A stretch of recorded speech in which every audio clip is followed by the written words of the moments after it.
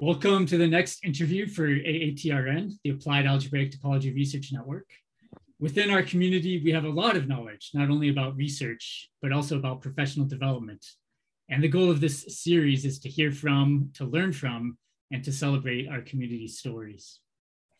So our interviewer today, i.e. the person asking the questions, is Professor Tomas Gedeon from the Department of Mathematical Sciences at Montana State University. Tomas received his Bachelor's of Science in Mathematics from Comenius University in Bratislava, Slovakia, and his PhD in Mathematics from Georgia Tech in 1989 under the direction of Professor Mischaikow. Tomas's research is in applied dynamical systems with applications in biological models, especially models of cell dynamics and gene regulation. He has supervised many undergraduate students, PhD students, and postdoctoral associates. And in 2012 through 2015 was honored as a distinguished professor in the College of Letters and Sciences. Outside of mathematics, Tomas enjoys traveling, skiing, backpacking, hiking, and mountain biking. So thank you, Tomas, for hosting our interview today. Uh, thank you. so again, this is something which I will do for the first time on a public stage. Obviously, we have discussions with Konstantin over years. Um, I have just uh, realized that I know Konstantin more that I, longer than I did not know him. Uh, you know, because I kind of like I met you in 1990, um, which is you know probably many many people here um, may not have been even born at that time. Um, so okay, let me introduce our our interview interviewee. So Konstantin um, is you know uh, again uh, somehow a founder or early adopter how do you want to call it of, of computational um, topology intersection of dynamics um, and uh, and algebraic topology. Uh, briefly you graduated from wisconsin in probably 86 i think uh, or some around there um, then uh, went to um, postdoc at brown uh, positions at Michigan State and Georgia Tech, where I met you, and then went to um, Rutgers. So that's the introduction. Um, maybe I should start asking kind of the first questions. So again, starting with with a kind of a background. Um, so I know that you know you grew up, and you should tell us where in uh, in kind of a, a Washington State area. Your dad was an economist uh, and you had some interest in economy. So I, am kind of in, always interested in kind of people having this kind of bifurcation points, like what else you could have done had situation was different. So if you can tell us also about undergraduate uh, education and how you kind of started in mathematics. Um, so yeah, uh, yeah, I grew up in Bellingham, Washington, beautiful little town. Um, when I grew up there, there were almost no people living there, and you can go hiking in the mountains and not see a person. And I was back there this this summer and took a hike on a weekend with my my daughter and my niece and was just uh, aghast by the fact that it was just filled with people. I mean, there were there were more parking lots up up at the top of Mount Baker now than than there were people when I was growing up there. But, but I guess that's that's how life progresses. Um, I went to Reed College uh, it's a small private liberal arts college in Oregon. Um, and that's kind of where I, I, I defaulted into mathematics. Uh, I wish I could say I had a great life plan, but uh, like like Tomas said, when I went to college, I I knew that I that math was something useful, uh, but I I had taken kind of I guess traditional math courses, right, where uh, you you know the you do all the calculations and then you hit things like the fundamental theorem of calculus and yeah the prof gives a lecture on it and assures you that it won't be on the test. And that seemed to me to be the interesting part. So i, I kind of in my naivete decided that that math was boring uh, useful but boring because whenever you got to the interesting stuff it wasn't on the exam. So that couldn't be the the really essential parts. Um, and so I planned to, to either make to do either physics or economics. Uh, and uh, kind of realized that I wasn't going to end up being a physicist because uh, not because I didn't enjoy the subject, but because when I was doing my homework, uh, it really dawned on me. we had a second semester of undergraduate quantum mechanics, and uh, my friends who went on to do graduate work in physics, they they really understood the physics problems, and they didn't care about the math formalism. And I would just get hung up on the math formalism, and and so I said, well, that's not the place I belong. Uh, economics, I just kind of felt frustrated because oh, okay, there were these nice math models, but I just couldn't see how you know, maybe on the experimental side, how they could be related back to whether you're doing something uh, uh, worthwhile. Uh, so I found myself my senior year. Uh, I knew I was going to graduate, uh, and then I had to go out in the world, and I absolutely did not want to get a job. I, the idea of me in the morning and go to work was just terrible. Uh, and I had taken a lot of math courses. I really enjoyed it, but it just never really dawned on me that maybe you could do math for for a living and and uh, so but you know it sure seemed better than that's interesting because i have met multiple people who have said that right? That you know it's like oh i like this but and then somebody came in and says like oh by the way you could go to graduate school and you can be paid for being a teaching assistant. Yeah. And you go like oh wow. Is that something which happened to you too or? It, no, it wasn't so much. I mean, I always knew you could go to graduate school in math, right? It, it just somehow me being a mathematician just, just, but it should be getting a job, right? so, so I applied to grad school, and uh, you know, I, I, um, I ended up at Wisconsin, which I, I think was extremely fortunate for me because uh, I met Conley there, and uh, you know that working with him kind of in some sense suddenly made me think oh this is this is really cool to think about these kinds of things and uh, so did you yeah. apply for other grad schools so you know again this is a bifurcation which could lead to something else oh yeah i got i applied to to uh yeah you know berkeley but they didn't give me any money uh mit i think i got a i got a really strange rejection letter from them kind of saying that i did not it was, it was so impersonal it was kind of like what I remember, and it probably is wrong, is something like, you know, your name did not appear on the computer list of our accepted students. So uh, I, I, don't remember what, I, I, mean, it's not a letter I saved, but uh, but uh, yeah, so I ended up Wisconsin, and and yeah, it was very.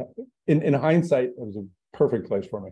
Very nice. So how do you how do you choose Charlie to be your uh, your advisor? Because there's a lot of other people around there. It's a strong department. Yes. Um, I, think it was kind of his, uh, well, one thing is that he would show up and I, I think he was a early morning person. I, I definitely wasn't, so I, I can't uh, say this for sure. But he was he'd be in his office whenever I got in. Uh, my my uh, graduate office just happened to be on the same floor as his. Uh, and um, then in the afternoons, he'd hang out on the on the ninth floor. Uh, and if you sat down near him, he'd start talking math to you. Hmm. Um, which was, you know, I didn't understand anything he was saying, but it sure sounded cool. So it's uh, kind of this, in a public area. He would just sit kind of in a yeah, lounge, yeah, or... yeah, and just just talk, right? And and um, the other thing was that I took uh, the. Um, so I was taking a dynamics course that you know a year long graduate dynamics course, um, and the first semester it was very kind of um, maybe geometric analytic uh, and it just did not did not rock my world let's say. Uh, and so i was thinking of, of taking some other courses in uh, in the spring a different course. Uh, and i met um, chris jones who was graduating at that point um, in, in december and i've forgotten the, the, the name of the the pub popcorn place that grad students used to go there. And uh, and I it was the first time I met him. I, I, think he had actually been somewhere that fall and just happened to be back maybe to defend or something like this. And uh, I kind of was just chatting with him and I kind of said, nah, I'm thinking I'm gonna do something else. And he said, no, no, no, Charlie's teaching the course in the spring. You've got to take it. Okay, so not knowing any better, I did. And uh, and it was a fantastic course. Again, it was kind of you know, lots of ideas out there. uh, Charlie would come and basically start every class with putting some problems up on the board, or at least once a week. Uh, and so I would take those down. Uh, again, kind of clueless. I thought these were homework problems, and uh, and and you know, I was enjoying the lectures, uh, and but I thought I should do some of the homework. And most of the problems I just couldn't understand, couldn't get my hands on. And it was one that seemed a little bit more computational. So I spent a lot of time on this problem, got epsilon, and then figured, well, you know, it's halfway through the semester and I haven't done anything. So I kind of went into his office to say, you know, I said, I, you know, I'm, I'm not getting very far on these homework problems. Um, here's one that I've worked a lot on, but this is, this is, uh, you know, I'm stuck. And, he, and so Charlie said, oh yeah, well, what, what have you done? So I started, you know, kind of showing him an argument and, uh, and it, and then I kind of said, and then I don't know what to do here. And he said, yeah, that's kind of, that's an interesting approach. I kind of got about to this point and then I, I did something uh, a little bit different. I tried this, uh, and I'm kind of like, oh, okay. And and then he said, uh, uh, but this is a really cool problem. And he pulls out a folder with a stack of uh, of you know these Russian. Uh, everything was reprints, yeah. reprints and, and, and papers, right? And he said, you know, here you can look at this, and it was so this is a really not commonly indexed stuff yet. This was more about like uh, maybe it was celestial like mechanics. Smale questions like genericity. No, celestial mechanics. It was really a, a mechanics. Okay. celestial mechanics, right? And and it was okay. Suddenly I realized, oh, this is this is what you know. Yeah. Problems like this are problems that that people apparently can't solve, and and that kind of was was cool. It was kind of the first time I've been really introduced to the fact that there are um, this is where the frontier is, right? You were like yeah, yeah. putting your nose right, right, there. Yeah, and and and the frontier get you get to the frontier really quickly as soon as you just think a little bit about some problems, and and that was enlightening for me. So, I mean, I, what I'm showing you is how clueless I was. I, I still feel the same way.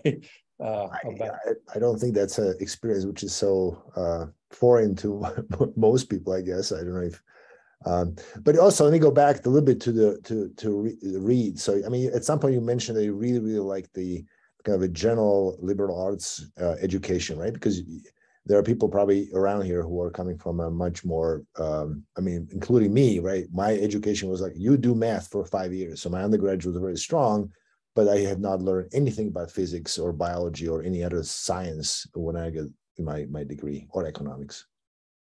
Yeah, so I, I um, yeah, it was it was right for me. Uh, the again, I really did get turned on to mathematics there. I, I had um, the the first course was a course in um, the derivation of the numbers from the Peano-Hankin axioms.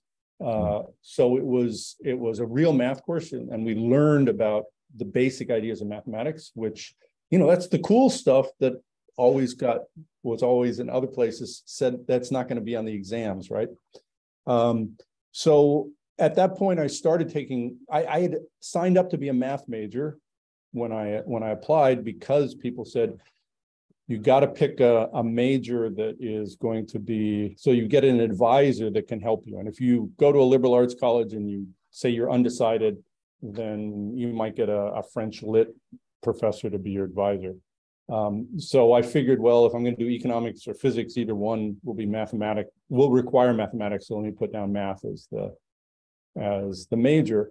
Um, and so, you know, that first class, it was, oh, cool. So I, I never got around to switching majors. Uh, and I just kept taking math classes the, the whole time I was there. But again, you know, it, it depends on the person. But for me, there was with few exceptions, there was always some other class that was my priority class, whether it was a history class or a political science class or a religion class. Um, and so I really, I really enjoyed those four years where I got to think about lots of different things. I mean, yeah, I, yeah. Well, obviously, I mean, I, I kind of like the same kind of the, the broad education, but um, all right, so you you got a degree from Wisconsin, right? And then you, I think you went to Brown, and I think that was also uh, there was a lot of dynamics happening at Brown. So how much that and Michigan, and you know, describe the. So, I you know the the um, again I so let me. So I think this is uh, Brown was was hugely influential in in in my career and uh, so I learned, I, I, kind of feel like, you know, when I was in Wisconsin, I learned about uh, mathematics from, from Charlie and, and Paul Rabinowitz. I took a lot of courses from Paul Rabinowitz. Um, and both of them were kind of doing dynamical systems, right? And, and uh, there was a dynamical systems community at Northwestern, Minnesota, Wisconsin. We'd meet at least once a semester. Um, so you know i was steeped in dynamical systems and then i went to brown uh, fortunately john Mallet-Paret uh, invited me there as a, as a postdoc. Um, and then you know i heard dynamics from from john and, uh, and Mallet-Paret and, and jack hale. And they were kind of you know in some sense working on the same kind of problems that uh, charlie and paul were working on. And yet the perspectives were really really different and that was really, again, a big eye opener for me that there, you know, same kinds of problems can be looked at from very, very different perspectives. Uh, so perspective was like, uh, was it was it more infin infinite dimensional versus finite dimensional problems, or what is that the main change of perspective, or? Um, there was a, yeah, I mean, well, with with uh, Jack, it was you know just view everything from a, as a perspective from a dynamical system right? Uh, from uh, uh, Paul, there was much more functional analysis. From mm-hmm. Charlie, it was much more, you know, get everything down into a topological uh, language, right? And and this, um, uh, you know, it, it's very easy when you're in a group especially as I think as a PhD student, right? You you kind of absorb the perspectives of of people around you and get lost in that that cocoon, and then going to Brown and seeing the same kind of questions being addressed from different perspectives. Uh, it was an eye opener and and kind of may maybe I was just ready at that point to be made aware that it's really, really useful to look at problems from very different perspectives. There isn't a correct way to look at the problem. Um, and so that, that had a big influence. It, it, it stuck with me. But, but I mean, this idea of applying kind of algebraic topology and dynamics or taking kind of a continuous or continuous processes and rigorously you know, capturing some properties using kind of discrete math, you know, I call or discrete mathematics that has roots in Charlie, obviously, right? And Conley index theory. Right. Right. Yeah. So I didn't I didn't give up that that that perspective, right? But it it um uh okay, so so this idea of trying to understand the global dynamics on the global attractor. Mm-hmm right? That was something that that Jack and John were, were really working on, right? Which is not not something that I heard from from Paul or from uh, from Charlie. Um, and you know, I think some of my my earlier work that that that I really like, that's the kind of question I was trying to answer, but I was using these techniques that I had I'd learned from from Conley. So. Well, at some point, there's a you kind of switch to computation, right? A computational view. So that happened, I think, maybe in the late eight, uh, 90s, right? Uh, actually, early early 90s. Okay. Um, when when Marian was was visiting. Um, this is Georgia Tech. Georgia Tech, and it really came about because by that time I had a couple of nice theorems. We and and uh, um, you know, trying to find isolating neighborhoods by hand analytically was just so hard. And so there were just all these problems that somehow I thought, well, those should be easy. But every time I had to do the analysis, I just got stuck. And so I said, well, this is dumb. I should be able to compute these things really easily because I didn't know how hard computation was. and uh, that's how I how I got started. And and again, complete naivete. The, the stuff that I thought was going to be easy for us to compute turned out to be a real challenge. And some of the things that I really worried about being able to compute, turns out the computer scientists had solved, had very fast algorithms for that. So it, it's, again, uh, I got lucky. I mean, I remember that. I mean, uh, Marian come for about a year in '93 or something. Yeah, uh, I've forgotten which I think yeah, I was still there. Like yeah. yeah. And then Andrei Szymczak came a little later, right? right. And uh, yeah. that was kind of the discrete, discrete Conley index theory happened at that point. Yeah. So I mean, okay, so that's kind of how you went from dynamics, Conley index to the computations. Uh, but then you know TDA, uh, the other stuff, which kind of how how that evolved from. Um, so okay so again my it yeah i think evolution is the is the appropriate word right? So um yeah so with, with marian we did this the we apply we had a theorem that said you know if you can get these algebraic topological invariants then you can prove chaotic dynamics. And um you know if you want people to pay attention to a theorem like that then you got to apply it somewhere. And um and so we applied it to Lorenz, and, and that got people's attention. But if you think kind of abstractly, what we did was we did a lot of numerical, uh, you know, simulations plus error bounds, uh, and then said, okay, we got good enough bounds so that we can get the algebraic topology right. Uh, in, in, some sense, that's just data science. It's just that it's very, very in, data intense data science.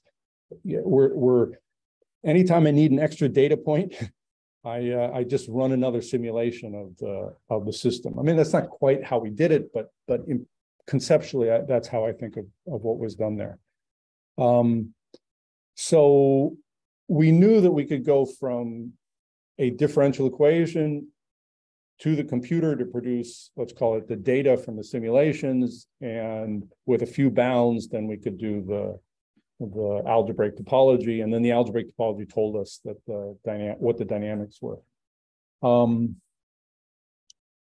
there was uh, uh, Josh Reiss, who was a student of Bill Ditto. They were doing uh, experiments on chaotic dynamics, uh, and there was re really nice inter, uh, healthy uh, interactions. This is a physics department still in physics department, right? right. But between Georgia Tech and and the uh, and the physics department. Yeah. Uh, and so, um, you know, we talked to Bill about uh, uh, what we were trying to do. Bill's particular interest at that point was looking at at data from calcium reactions in hearts, and that was just way too way beyond anything we could hope to do. But but like I said, a student, Josh Reiss was looking at a magnetoelastic ribbon where you could get lots and lots of data and and nice measurements in the data. Uh, and so with uh, Josh and Marian and, and Andrei Szymczak, um, I think we had a very nice paper where we said, look, if you give me this, this data, you can still use these kinds of techniques to argue that there must be one, again, chaotic dynamics in the, in the system. Um, again, very data intensive stuff.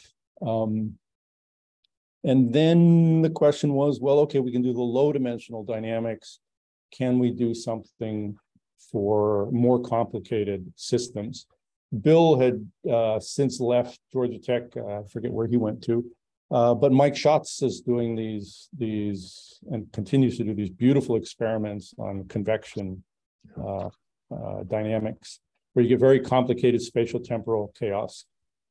So again, we and you know this now was with Marcio Gameiro and, and Bill Kalies. We started saying, well, can we use these topological tools to address that? Um, I think what's what's really interesting is kind of to see how uh, how your background has an impact on how you think about the problems. And uh, um, the you know a lot of TDA gets associated with persistent homology, uh, and you know I think of uh, of persistent homology as kind of measuring how high the peaks are. And here we were trying to keep track of, of how things move back and forth. So the, the, the actual patterns. Um, and coming from the differential equations community where you uh, looked at uh, at evolution you know, singular perturbations, right? Where you you kind of set your PDE so the pattern was either a zero or a one. Uh, so we followed that direction, and I think we had some nice results, but we really kind of got stuck trying to do the uh, get back a, some kind of continuity results. And in, in the sense that we kind of took all the pictures and, and turned them into black and white pixels Mm-hmm. That's that's kind of what you do with these singular perturbation problems. You, you you you set you know you have a parameter so that you get sharp interfaces so that as a PDE person you you kind of either just track where the interface is and you don't you don't deal with the slow fast slow fast yeah, you get a right. slow yeah, yeah evolution right. yeah. um and so it was very exciting to see um you know, when when persistent homology came along, because it was kind of the exact opposite direction, uh, right? Instead of of trying to see how things were spatially oriented, you saw how things vertically oriented, but that gave the ability to to have continuity, and we had been stuck uh, trying to do continuity from the perspective that we had. So, uh, I mean, it's yeah. And I was thinking about it, you know, before this, like, you know, I know that, you know, John and, and Herbert, right, who kind of started the, I mean, their background is definitely in, in hardcore algebraic topology, right? And your background is very different, right? Coming from dynamics and it, it kind of brings different perspective, different goals, different. And so I, I, yeah, you, you already mentioned that, but if there is more, uh, uh kind of ways to, to, to contrast that that background that, that will be interesting to learn. Yeah. And, and, that was you know. Yeah. So it was really um yeah again well exactly what you said more eyes on a problem.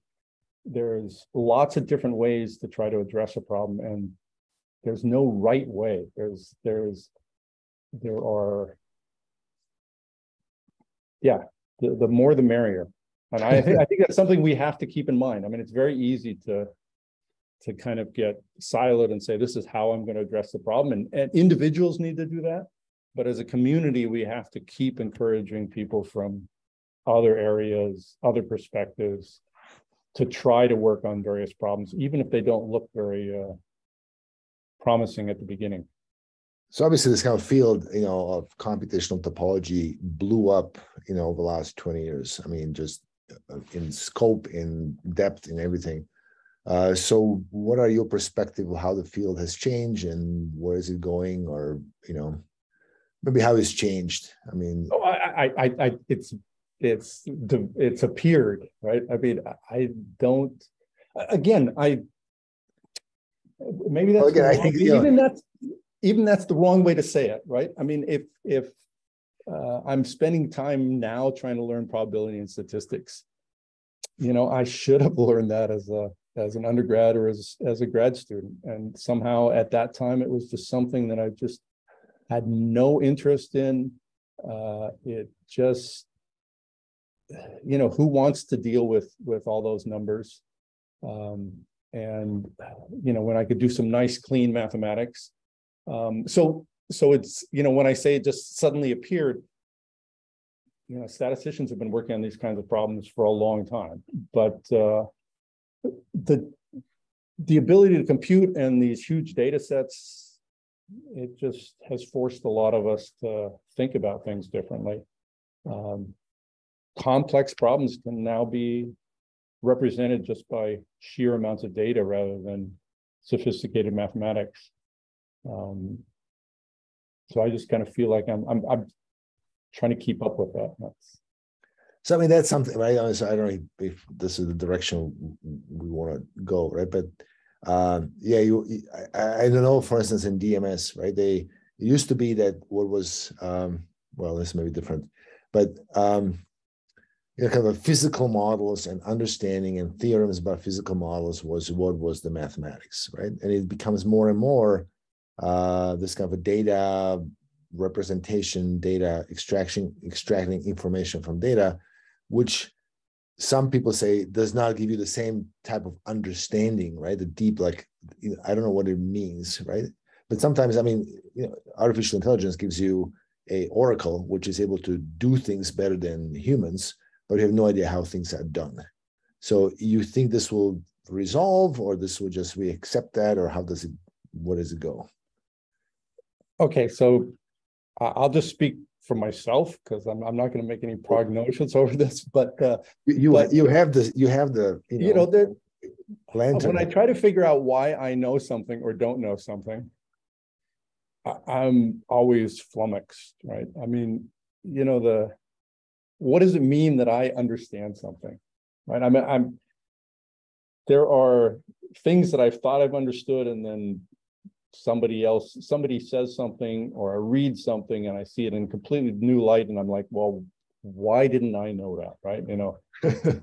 so, you know, that that's um um maybe an example of overtraining, right? I mean, you know, I've I've pattern matched to a certain level, and this is what I think the problem is. And somebody comes in and gives a new data point, and it's clear that I should have had a more expansive idea of, of what was going on.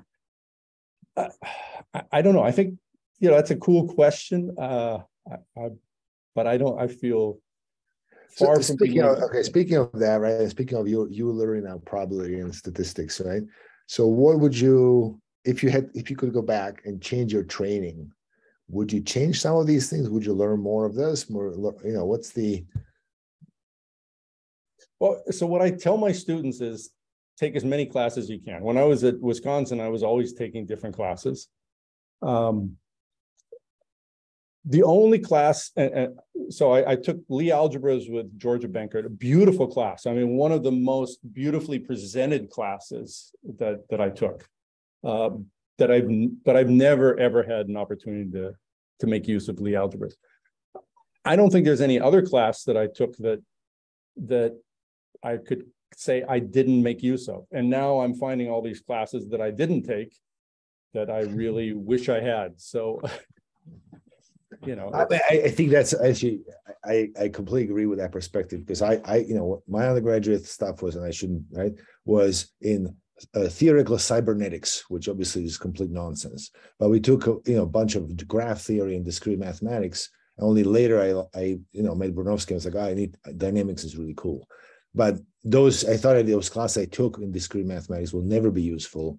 And they are, right? You kind of find 20 years, sometimes in the future, and you never know where the field is going to go, where your interest will go, uh, what you will use. So more classes, the better. I yes. Okay. Um, so again, I so you, okay. What do you think about? Are there some topics in this is the last question about the field, and we'll go to like you you being a professor. But are there some parts of the field, field being very gen, gen, generic term here, which are kind of underexplored, which should have more attention? What what do kind of our um, what okay, so paying attention. So I I think the, I mean, and and this is not the. I, I think going one more step, and there's already a lot of work being done kind of on the computer assisted proof side. Um, you know, homotopy type theory. Uh, at the moment, what we have are, are what's being developed is you know very sophisticated proof checkers, um, but I think that's going to have again. I'm I'm really an outsider on this. I, I know very little, but I think that's going to have a huge impact on mathematics and and when we get to the point where the, the computer is producing interesting mathematics from, you know, the current AI type uh, methods, you know, if protein folding could be solved, then uh, proving things will be solved. And I think it's going to be a game changer for mathematics. We have an AI now, which uh, which translates words to pictures, right? To um, art, right. which is a big deal. So now we can just say, I would like to prove a theorem about this and this, and AI will just go like, here it is. yeah, I, I, think we're a ways from that still, but but it will happen, and and I think that will you know, have a huge impact on on the field of mathematics. But And huge. what math, uh, uh, what math, uh, what what our role is in terms of of as mathematicians. So they will all fire us and we'll just teach you four classes of calculus. Yeah, I'm, I, well, why teach them calculus if the computer can do it, right? I mean, I think we'll really have to think about what, I, I think the analogy I keep giving is, uh, is chess. When, uh, you know, when Big Blue beat Kasparov in chess, I figured, oh, that's the end of chess. I mean, who's going to care about it anymore? Um, today, the apparently, and I'm not a chess player, but apparently the AI uh, chess masters now are are much more imaginative than than what the IBM program was doing. And this now the grandmasters train on that, right? They, they'll get they'll lose all the time to these to the to the machine, but they they learn strategies, and I think that's kind of where we will end up. Mm. Mathematics is a is a formal language. I think it's something that the computers should be able to learn how to do. They, they clearly can't at the moment, but I think they will learn how to do it. And then it'll become a question of, oh, what kind of insights? How diff, just like, again, I'm speaking as a, as a, as an amateur. But my, my understanding is that when, when Google's Go uh, played Go, it played in a very, very different way than than humans played. Uh, and and I hear again, I'm I've read this about chess too, right? So it would not surprise me if if the AI driven mathematics looks very different from the kinds of mathematics, you know, fundamental structures and uh, than than what we do.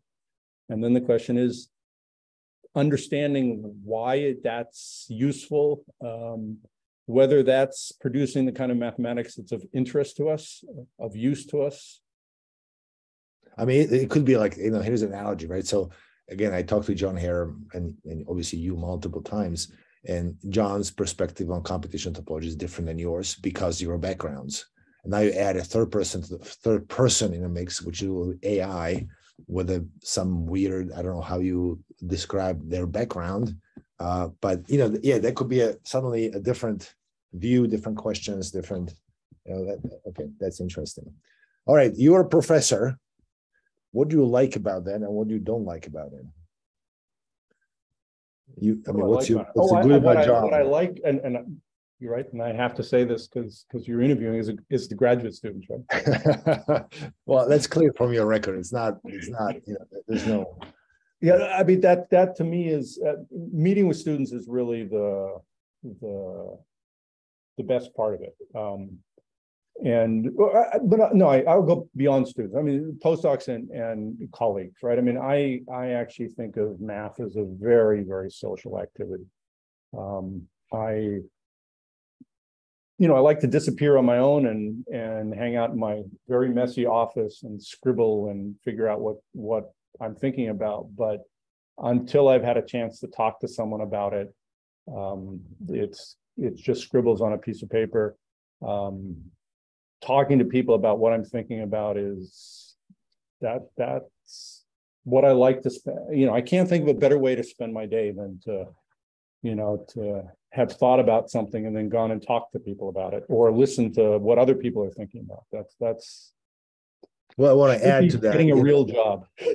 I mean, the, the point is that you, not just graduate students, but you have also a, a lot, a lot of collaborators, right? I mean, uh, I would say everybody who you ever met becomes a collaborator, and they seem never leave or very rarely, right? So, um, what's kind of the, and you know, I think it's very positive. Um, what's the what's the kind of a feature of um, feature? Uh, what how you make that happen, right? I mean, is it something right? I, I don't feel like I, I make it happen. I, I just enjoy it happening, right? I mean, you know, what can be more fun than sitting down and talking about a cool idea? I mean, there are some, right? I think, and this is my view, right? I mean, you are also open to listening, right? Which is um, which is very important, right? It has to be back and forth. And um, I feel that I try to do the same thing with my graduate students, right? That, that I obviously have more experience, um, but that doesn't mean that my ideas are anyway better. They're usually actually more dumb. And so I want to, yeah. Yeah, that's why uh, uh, it's talk about something. It's not, you know, it, it's not the lecturing part that that gets boring real fast. It's the talking about something. Because yeah, again, just like, you know, I guess this maybe becomes a theme, right? There, there's lots of different ways to look at a problem. And being open to those different ideas, those different perspectives is is not only important, but it's really cool. Right? It's so. I mean, how do you? So again, here's the question. So if you have a graduate student, right? So how do you? Uh, they usually come to your office first, and they're like a little bit, you know, trembling, right? How do you make first? How do you select the? I don't want to say select a problem for them, right? How do you agree? What's the dynamics between, you know, how do you get the thesis part, right? How do you do that? Um, Right. So I, I, guess my what I really feel my heart is that that the at least 50% of of a thesis should be the choice of a problem. Right. I mean, up until uh, you get to your PhD, pretty much all along your education, people are telling you what to do. Here's what you need to learn. Here's the exams you need to pass. Uh, even a master's thesis. I mean, what's typically done for master's thesis is you hand a student a problem and you got to make sure it's something that can be done in a certain amount of time uh, and is kind of within the scope of what the student knows, right? And, and the PhD, I, I think, is kind of the time where you say, okay, make up a problem that you can solve. Uh, and well, that problem should be interesting or else you're not going to get a job. And so kind of I see my job as kind of making sure that the problem is interesting enough that uh, that the student can get a job. And the typically what I've what the most common thing is trying to convince a student that uh, that interesting is much smaller than what they expect. right. You go like, I'm good. Yes. Yeah. I see. I, I, I, I, you know, oh yeah, you can show this. That's good enough. Right. I mean, it's, it's really, um, the frontiers of science are like you, like you pointed out at the very beginning, you, you bump up to the frontiers really, really fast as soon as you start thinking hard about something. And so uh, it, making the student aware that, yeah, that, that step, that's enough and why it's enough, uh, and that they should have enough confidence that it's enough. That that's a big part of the role, I think. But I think this must be, I mean, this approach, right? Kind of like collaboratively finding a problem must have been also something what Charlie would have done, right? I think he was not because I think there are people who say, okay, you want to work with me? Here it is. Conjecture, go, right? And uh, again, I don't obviously I don't think that's that's a good idea, but I would think that Charlie would be the same way, right? Charlie, yeah, he just he had just again, talk. we would just we would talk and he would throw out a problem and um, then we talk some more about it. And some of the problems I understood and some of the problems I didn't. And finally there was a problem where I had enough traction that I could get somewhere on. And but I remember, right? I mean, this when I was kind of my first few years out of um, out of PhD, right? You first come out and you go like, oh, okay, so now I'm on my own, right? And uh, will I be able to first generate you know interesting problems, second solve problems, right? And then you do feel a few of those and you're like, oh, I guess that's this is working out. And so I feel that probably a lot of young people uh, may have that issue when they get out of college if they are like okay right so so that part of of encouraging them to come up with the same their own problems and and and understanding they can do it by themselves is is a is a is a cool thing. Um, all right, so let me ask maybe a few more questions, maybe one more question. So, um, again, I'm coming back to this bifurcation because for me, bifurcations happen multiple times along my you know lifespan. Um, so, what would happen? So, if so, think about going back and see uh, if you decided to be a physicist at uh, Reed, or if you got a, I don't know, Paul or somebody else uh, PhD, what, what would you think? Are there some you- bifurcation you broke up, you broke up where I broke up ex- on, when you were asking the question. So sorry. you right, ask sorry. it. So I'm, I'm thinking about um, in your life, you know, trajectory in terms of science, mathematics. Are there some natural bifurcation points which you go like, well, if I did not change, if I did not go math in Reed, but I went to physics or uh, or econ- economy, I would be now uh, Paul Krugman in Princeton or something. Or is there some places where you would think you will have a different uh, path? I, don't know. I, I'm, uh, I mean, I think economics, it would, you know, maybe this shows, you know, the, the kind of narrow thinking that one's capable of. Uh, I think now is really an exciting time to be in economics just because of the data, right? We're, we're able to collect so much more data.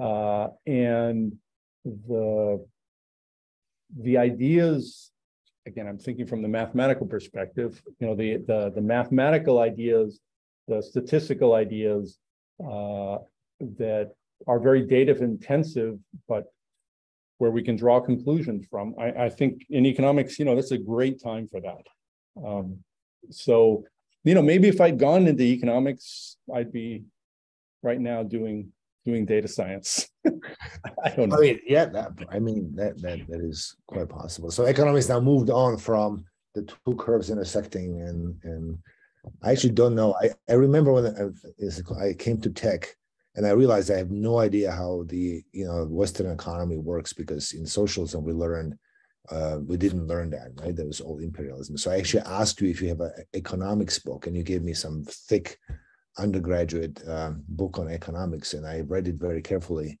and that's the extent of my understanding of economics, which is probably not that great. Um, but I, I really enjoy that. All right, so I think we are come close to the end. I don't know if you want to uh, talk about some aspect more, or um, we just open to the questions. Uh, Let's open to questions. I'm okay, Okay, hi, thank you Yeah. again. Um, okay, so um, for the questions, um, do you have uh, any, so like with previous participants, um, you know, we've heard of some uh, super uh, hidden superpowers, like, I don't know, making furniture um, or, you know, playing a saxophone in a band. Um, do you have something like that that you are willing to Yeah, share? with the audience? definitely not, definitely not. I, oh, I, I, it's not that I'm not willing to share. If I had a superpower, I'd be happy to share it. I, I, I don't. Yeah, like, uh, not no running away with the circus at one point and like working. No, no, I just, you know, it- it kind of like I was telling Tomas, I, I kind of feel like I've gone through life being very fortunate, stumbling into, into the right, right things at the right time without great, any great, uh, great plan to get here. Very good. And um, what about, um, uh, so mostly I guess we've been talking about math and your sort of development as a mathematician and then as a professor. Um, and then how about your hobbies and sort of um, what do you like to do outside of math? Um, I like to go skiing, which is why I, I like to head off to Montana whenever I can in, uh, in the winter. Uh, I've had some very nice ski trips with Tomas, including one where we, uh, we went off course and got way up high in the mountains and he actually had to my carry my skis up to the top of the hill so that I could get down. So again, you know, it, I very much rely on my collaborators, whether it's in, in math or skiing. Um, hiking, um, uh, I, I enjoy eating fresh tomatoes, so I, my summers when I'm at home get spent taking care of my tomato garden. Um, So I guess that could count as a secret uh, superpower. Uh, it, it- it's really good for August and September, yes. Yeah, yeah, yeah, very good. um, um, okay, and then um, so a question that we have is, what's your history with coding? Have you coded a lot in your past, or are you doing any coding currently? I get by with the help of my friends. Anybody who's worked with me knows that uh, the my level of coding is is not something that should be publicly shared. Uh-huh. Um, and uh, yeah, no, I um, yeah, no, all the all the coding, anything, anything, any paper that I've had that's had coding in it has been a, a joint work and the you should just assume that the other authors took care of all the hard work. Very good. And then, um, so um, there is um, a question of how um, you began working with Marian Mrozek, and um, was there a specific reason behind uh, his visit to Georgia Tech? Um, yeah, so I would been, you know, so Marian came up with the a version of the discrete Conley index, and uh, I think I think I met him via Bernold Fiedler, uh, and then he um, he asked if he could come in and to the to the states. I had just moved to Georgia Tech, uh, and yeah, so I was very lucky that he wanted to come and and work with me, and uh, yeah, it led to well, we're still working together. So that was uh, uh, yeah. So I was lucky that Marian wanted to come and work with me. Let's put it that way. Very good. Um, and then uh, for almost 10 years, uh, you were the director um, of CDSNS at Georgia Tech. Um, so what was that and what was uh, your role like as the director? So CDSNS really started as um, a, a uh, tool to get uh, Jack Hale and Shui-Nee Chow to come down to Georgia Tech. Uh, and so it was really a center for the the you know just to support local research in um, in dynamical systems. Uh, and so you know we had postdocs, we had some money for uh, for visitors and speakers, um, and you know that was that was what it was. And uh, you know I just yeah. So Jack ran it from from I guess he moved to Georgia Tech in 1989, maybe, or 1990, um, and then um, 1990, I guess. And then until he retired, and then when he retired, I I took over as as director, and um, until I came up to, to Rutgers. So, as a user, I might I must say that it was an awesome place to do mathematics because there's always there was five seminars a week on dynamics. There was there was postdocs. There was special topics courses. I mean, any type of dynamics you can imagine was available. So, wow, yeah, that sounds great. Um, and then I guess um, for like the more uh, like graduate students in the audience, um, so the pandemic has changed the dynamics somewhat. Um, because, for example, I remember that when I was a graduate student, um, I would attend a lot of conferences, but somehow now due to the pandemic, a lot of activities moved online. I mean, there were some in-person conferences, but like much fewer. And um, it was sort of harder to get an opportunity to present to them because like everybody applied for maybe, I don't know, one um, or two conferences in the area. Um, so like, um, uh, how do you think sort of that will change um, like the application process, I guess, in terms of making connections and like, what's your advice to, I guess, your graduate students who are on the job market, like how to somehow compensate for maybe this um, um, less uh, like lack of contact um, due to the pandemic years? I, I think that's um, so. I don't know if I have any good advice with regard to that. Uh, I think it is a problem. Um, uh, and maybe the the the I, I think people should reach out in terms of you know writing letters, email. Well, letters. I'm, I'm thinking back to when I was a grad student, writing emails, uh, telling people that that they're on the market, that they're looking. Um, because I and, and the reason I was thinking back is that you know when I was in grad school, we didn't go to conferences. I mean, it was, you know, it was much more expensive to travel. Um, and so the conferences I went to were really very local. There were what I mentioned, there was this uh, community between Northwestern and Wisconsin and, and, Minnesota. And as grad students, we would drive up for a weekend once a semester to one of these three places.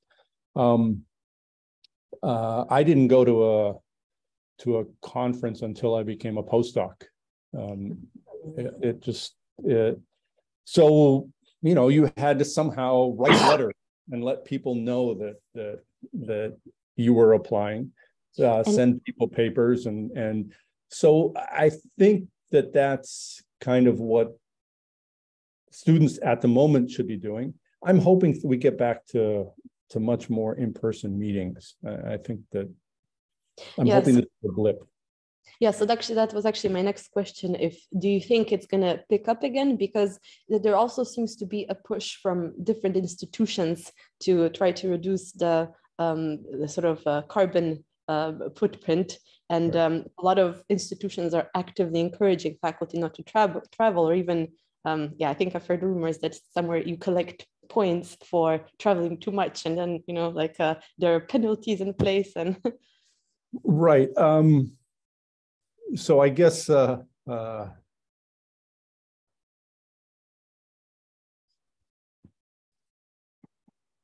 I guess my okay. So you know, I stayed home for for two years, like pretty much everyone else did.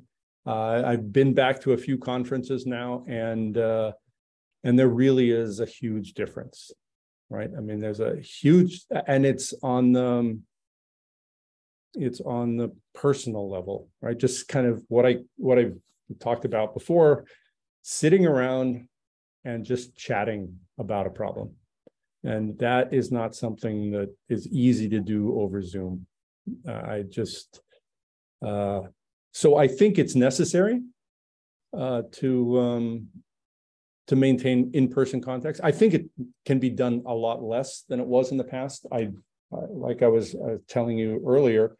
I mean, I think what this, you know, what what you guys have put together with these uh, online videos on this topic, the fact that they're up on YouTube and people can watch, the students can watch them, uh, is in the direction of students absorbing knowledge is fantastic. That's just, um, and so the students don't need to go to the conference to hear what's going on.